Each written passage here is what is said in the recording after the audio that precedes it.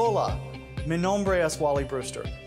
I am honored and privileged that President Obama asked me to represent the United States as ambassador to the Dominican Republic.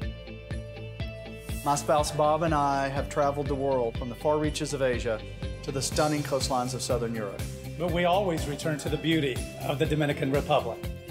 Over the past 30 years, I've built retail communities and cities across the U.S. and Latin America.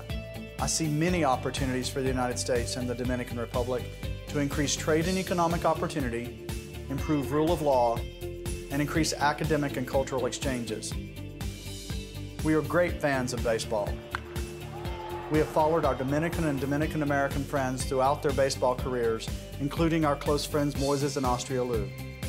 One of our favorite baseball moments was watching the New York Yankees and the Mets play their final game in the old Yankee Stadium.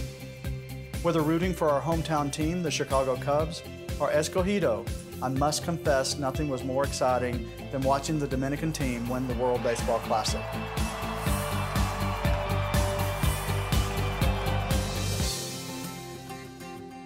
Growing up in a modest household in a small town in East Texas, I understand the challenges and struggles of families who work day to day just to provide their children with a better life. My parents taught me that all people deserve respect, dignity, love, and opportunity. They also instilled in me a strong belief in God and the values of love and tolerance. Bob and I bring those beliefs and values with us as we come to the Dominican Republic.